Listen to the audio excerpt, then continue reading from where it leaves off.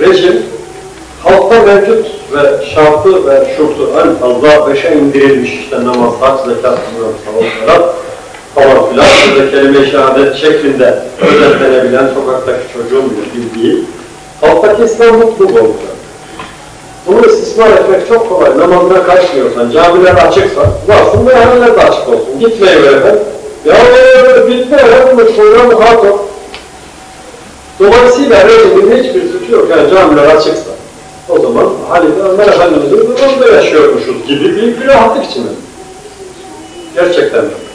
Yani keşke bir deli çıkıp da camileri kapatsa galiba o zaman bunu yapacaklar ama onu da o kadar ahmak yok karşımızdakiler bunu yapsınlar. Vaktiyle yaptılar ya. Camileri kapatmadınız mı, camileri defa yapmadınız mı, ahır yapmadınız mı diye yıllardır bu sermaye olarak rejimin aleyhine, batısının aleyhine efendim, kullanılıyor.